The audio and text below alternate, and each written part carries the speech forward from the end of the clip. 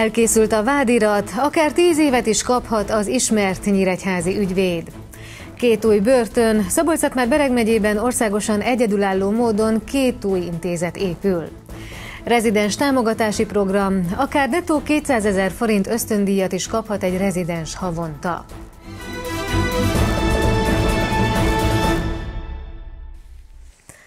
Akár tíz évig is börtönben maradhat az ismert nyíregyházi ügyvéd, a Kölcsei Televízió híradóját látják. Köszöntöm Önöket! 40 ezer oldalnyi nyomozati irat feldolgozása után elkészült a vádirat az úgynevezett cégtemető ügyében. Az ügyészség szerint az ügyvéd társaival csak nem 50 csődközeli céget tüntetett el úgy, hogy azokat névleg ukránoknak adták el. Az ügyletekért esetenként félmillió forintot kértek. Emellett lányokat futtattak, és az illegális cigaretta kereskedésben is benne voltak. Medence a kertben és biliárd szoba a pincében. Ezeket a felvételeket a nyomozók készítették tavaly nyáron. Akkor fogták el az ismert nyíregyházi ügyvédet. Telt a kényelemre, mert a vádirat szerint évekig foglalkozott csődközeli cégek eltüntetésével a bűnszervezet vezetője.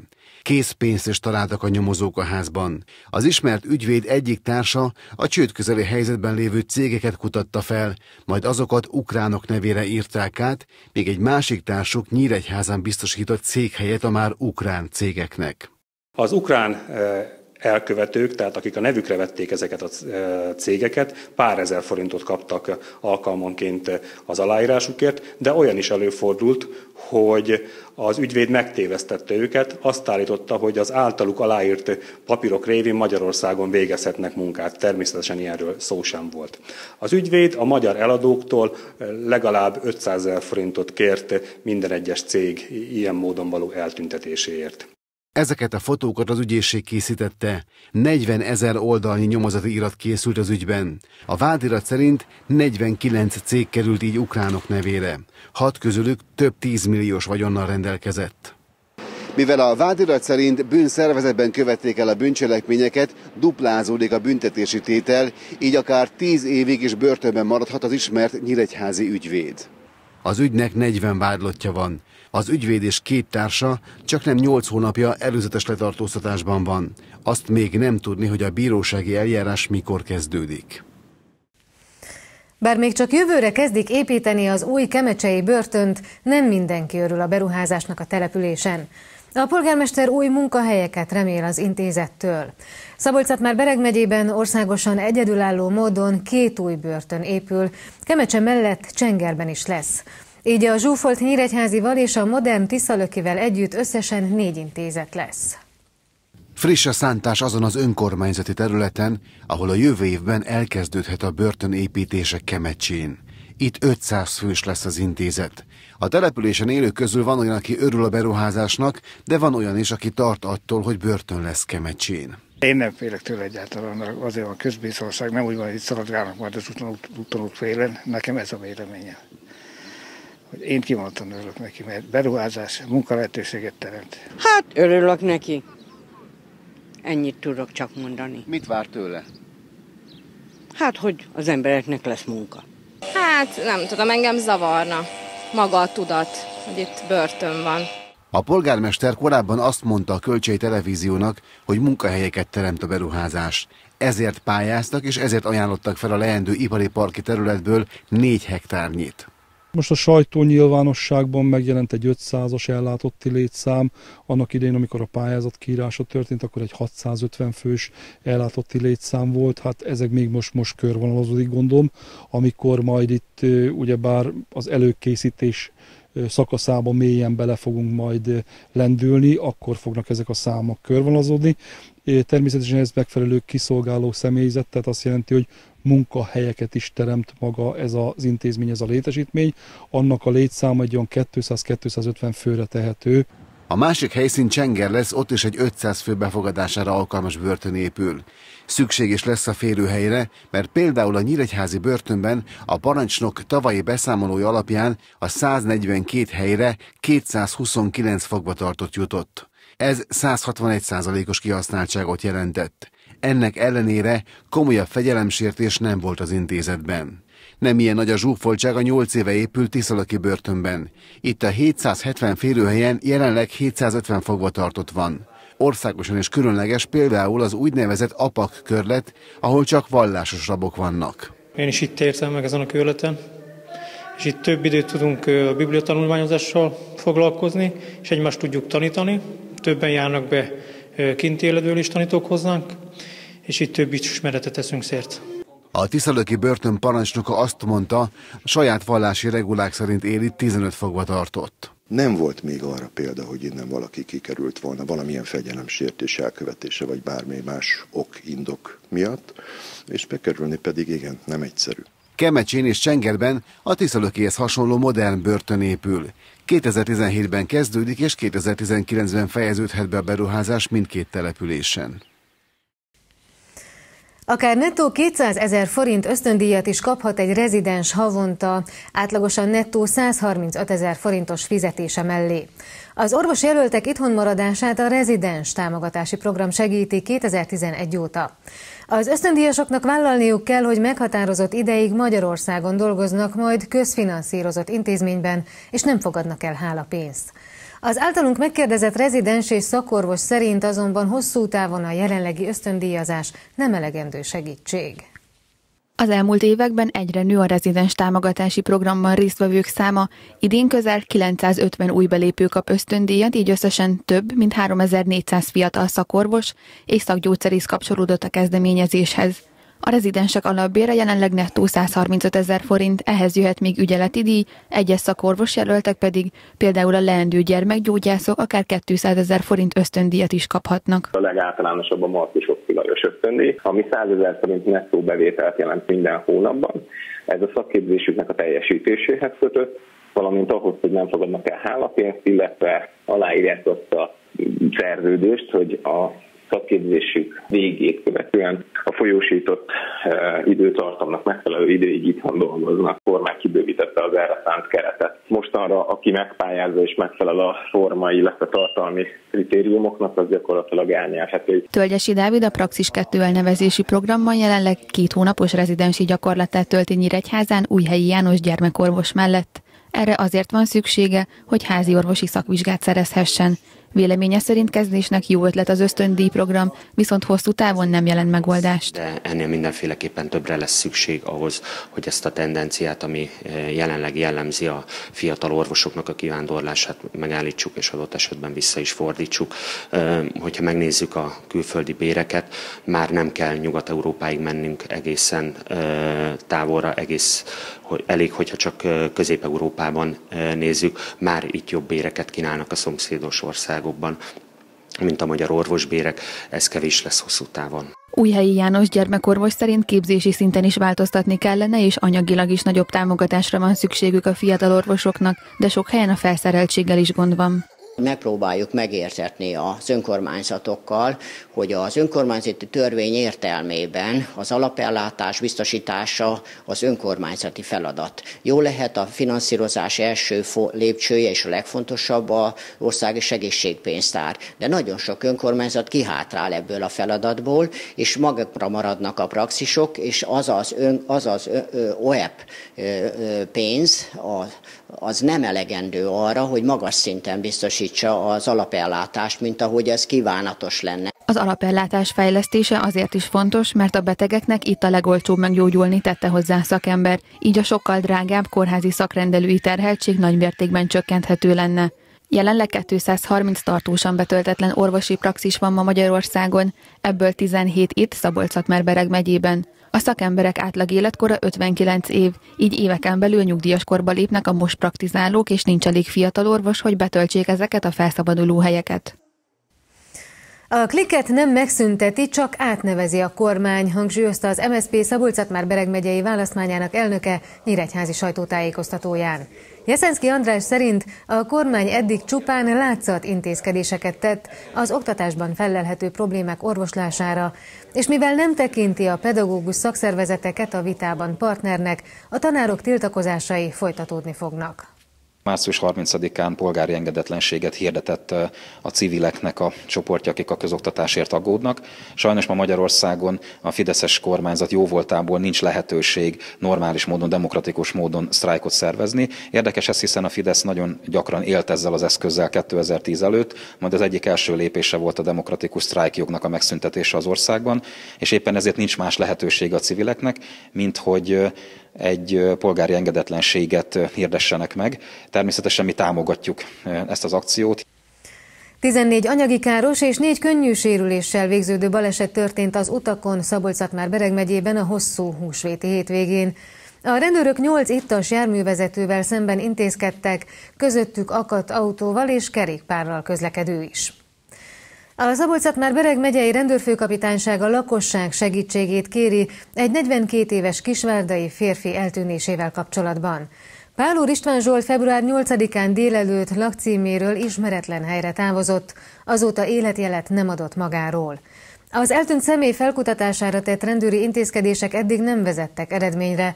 Aki a keresett személy tartózkodási helyéről érdemleges információval rendelkezik, jelentkezzen személyesen vagy telefonon a rendőri szervnél. Szalagkorlátnak csapódott egy személygépkocsi tegnap délután Virányos határában. Az autó rakam az irányából nyírtelek felé tartott. A sofőr elmondása szerint hirtelen eléjük vágott egy másik gépkocsi, és a karambol kivédése érdekében félrekapta a kormányt. Az autó így csapódott szalagkorlátnak, személyi sérülés nem történt, de a másik autó megállás nélkül elhagyta a helyszínt. A rendőrség az adatokat felvette, és az elektronikus kapu képei alapján feltehetően hamarosan beszélnek a másik autó vezetőjével is. Az elektronikus ügyintézést is segítő e-Magyarország pontokról szólunk hamarosan, előtte nézzük a híradó további témáit. 27 pontos vereséget szenvedett Budapesten a Marsó-Nyíregyháza. Sitko Ernő együttese a középszakasz első meccsén a Mafc otthonában kapott ki 91-64-re. Öt gólos győzelmet aratott a Nyíregyháza Spartakusz a labdarúgó NB3 legutóbbi fordulójában. Mátyus János együttese a felső tárkányt verte 5-0-ra. Mivel a másik megyebeli harmadosztályú csapat a Nyírbátor 1-0-ra nyert a második Cegléd ellen, a Spari előnye ismét három pont a tabella élén.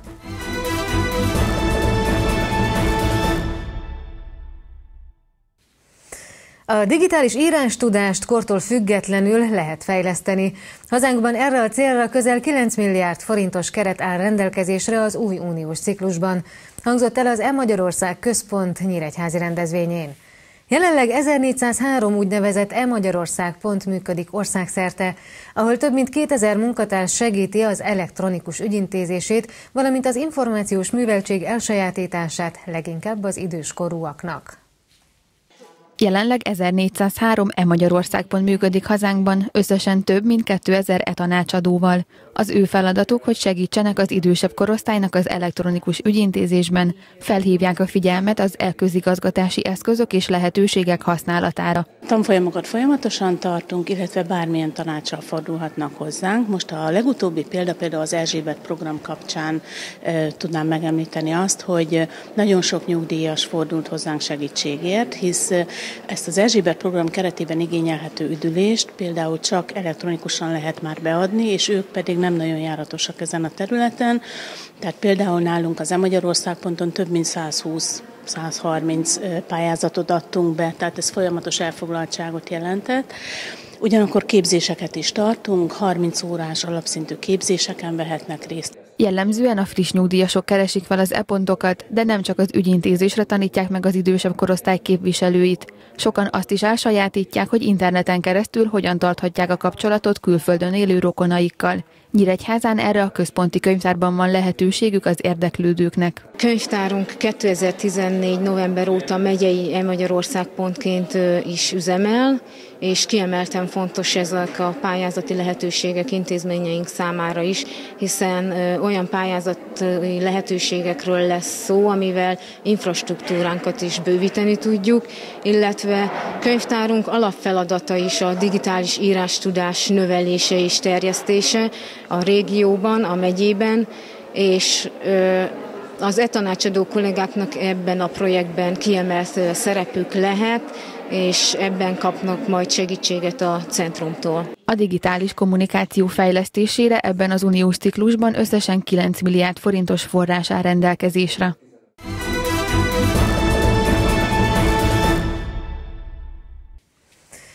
27 pontos vereséget szenvedett Budapesten a Marsónyíregyháza. Sitkó Ernő együttese a középszakasz első meccsén a MAFC otthonában kapott ki 91-64-re. A kék cápák csütörtökön a Szegedet fogadják.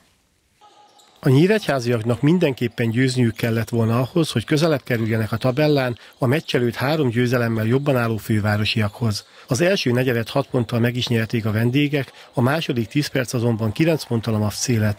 A harmadik negyed közepén még szoros volt az állás, akkor azonban a házigazda a végül 41 pontig jutó Anderson vezérletével egy 23-2-es szakasz produkált, amivel el is dőlt a mérkőzés. A folytatásban csak a különbség volt kérdéses, végül 27 pontos hazai siker született, a nyíregyháziak esélyei pedig minimálisra csökkentek az osztályozó elkerülését illetően. Az elején kontrolláltan jól játszottunk, aztán a MAPCA második negyedbe váltott egy szerkezetet, nagyon kellemetlen, alacsony, futós, ilyen majdnem, hogy azt mondom, verekedős kosárlabdát kezdtek el játszani, ami nagyon nem feküdt nekünk. Próbáltuk kihasználni azt, hogy a két magas emberünket jóval alacsonyabb játékos fogta az ellenfélből, de ez már ilyen görcsössé, illetve ilyen kapkodássá vált. Abból vissza tudtak jönni a meccsbe, és a félidőre már három pontos előnyel vonultak, de hát ez még egy nyílt meccs volt. Második félidőben pedig személy, szerintem ritmustalanul kezdtünk el játszani, illetve az amerikai bedobójuk félelmetes dobóformát fogott ki. Nem is mondhatom igazából, hogy védekezésben hibáztunk volna rajta, mert a 8-3-asából 6 emberről dobott. Az alsóház másik meccsén a Szeged 110-104-re legyőzte a Jászberényt. A nyíregyháziak csütörtökön a Tiszapartiakat fogadják. Mindenképpen egy nehéz meccse számítok, ugyanis sajnos Zorán Krisztalovics két hiba miatt kiállításra kényszerült, és ezért most kihagyja a következő meccset, így mindenképpen nehéz dolgunk lesz, de nem adjuk fel, itthon vagyunk, és, és hajtani fogunk a végsőkig. A Marsó Nyíregyháza Szeged mérkőzés csütörtökön 18 óra 30-kor kezdődik a Bemiskola csarnokában, a Kölcsi Televízió nézői pedig pénteken 20 óra 55-től láthatják a találkozót. Öt gólos győzelmet aratott a Nyíregyháza Spartakusz a labdarúgó NB3 legutóbbi fordulójában. Mátyus János együttese a felső tárkányt verte 5-0-ra. Mivel a másik megyebeli harmadosztályú csapat a Nyírbátor 1-0-ra nyerte a második Cegléd ellen, a Spari előnye ismét három pont a tabella élén. A Cegléden elszenvedett vereséget követően fogadta a felső tárkányi csapatot a Nyíregyháza Spartakusz. A hazaiak Szokol révén már a 8. percben megszerezték a vezetést, a 19. percben pedig Rezes talált a vendégek kapujába. A második félidőben újabb három Nyíregyházi gól született, a 48. percben Kostics, a 61. percben Harsányi, a 66. percben pedig Pöröskei volt eredményes, így a listavezető magabiztosan gyűjtötte be a három pontot. A kialakult helyzet miatt nehéz mérkőzésre számítottunk, hiszen kiéleződött a bajnokság, ami a, az első helyet illeti. Ugye a Ceglét beért minket pontszámba, úgyhogy mindenképpen csak a győzelem volt elfogadható, de elég motiváltak voltak a srácok. Ez látszott az első perccel az utolsóig, és a végén úgy gondolom, hogy szép játékkal, szép gólokkal megérdelem, mert győzelem született. A Nyíregyháza Spartakusz a következő fordulóban Putnokon lép majd pályára. Bárki látogat ide a Nyíregyházi stadionba, tehát igazából mindenkit meg tudunk verni meggyőző játékkal. Idegenbe, mi, mikor elutazunk, ez nem mindig van így. Ugye lásd a Jászberény, illetve a Ceglédi vereségünket is. Ellenünk nagyon szívják magukat, a körülmények, a pályák sem mindig olyanok, mint amilyenre lehetne számítani esetleg, de, de úgy gondolom, hogy most egy, egy gát átszakadt ezzel a győzelemmel, és a putnokot végre magabiztos eh, játékkal idegenbe is le fogjuk győzni. Az NB3 keleti csoportjának tabelláját a Nyíregyháza Spartakusz vezeti 58 ponttal, megelőzve az 55 pontos Ceglédet. A Nyírbátor a Cegléd elleni 1 0 győzelmének köszönhetően már 6 ponttal előzi meg az utolsó helyezett Tiszaújvárost. Híradónk végén nézzük a legfontosabbakat még egyszer röviden. Akár tíz évig is börtönben maradhat az ismert nyíregyházi ügyvéd. 40 ezer oldalnyi nyomozati irat feldolgozása után elkészült a vádirat az úgynevezett cégtemető ügyében. Az ügyészség szerint az ügyvéd társaival csak nem 50 közeli céget tüntetett el úgy, hogy azokat névleg ukránoknak adták el. Az ügyletekért esetenként félmillió forintot kértek. Emellett lányokat futtattak, és az illegális cigaretta kereskedésben is benne voltak. Szabolcs már Bereg megyében országosan egyedülálló módon két új börtön épül, Kemecsen mellett Csengerben is lesz. Így a zsúfolt Nyíregyházival és a modern Tiszalökivel együtt összesen négy intézet lesz. Akár nettó 200 ezer forint ösztöndíjat is kaphat egy rezidens havonta, átlagosan nettó 135 ezer forintos fizetése mellé. Az orvosjelöltek itthonmaradását a rezidens támogatási program segíti 2011 óta. Az ösztöndíjasoknak vállalniuk kell, hogy meghatározott ideig Magyarországon dolgoznak majd közfinanszírozott intézményben, és nem fogadnak el hálapénzt.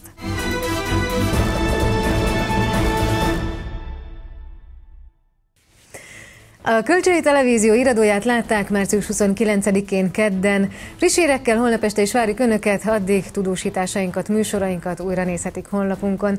Én munkatársaim nevében is köszönöm szépen a figyelmüket, viszontlátásra!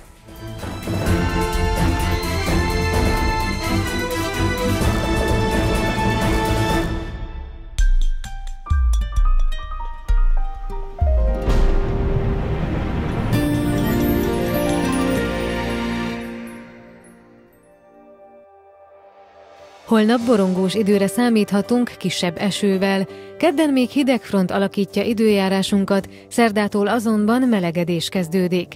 Éjjel erőteljes gomoly felhőképződés várható, majd estétől változóan felhős idő valószínű, zápor előfordulhat, helyenként még zivatar is kialakulhat. A nyugati, majd a délnyugatira forduló szél megélénkül, helyenként megerősödik, zivatarok környezetében átmenetileg viharossá fokozódik. Reggelre általában három fokig csökken a hőmérséklet. Holnap napközben felhős idő lesz, hosszabb, rövidebb napos időszakokkal, zápor is valószínű. A délnyugati szél megélénkül, helyenként megerősödik, délutánra 16 fokig emelkedik a hőmérséklet, hideg fronti hatás van térségünkben.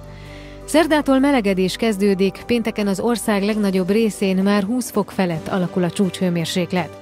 A változó felhőzet mellett több órás napsütésre számíthatunk, csak néhol fordulhat elő kisebb zápor. Péntek este gyenge, száraz hideg front érkezik fölénk, így szombatra néhány fokkal visszaesik a hőmérséklet, de csapadék nem valószínű.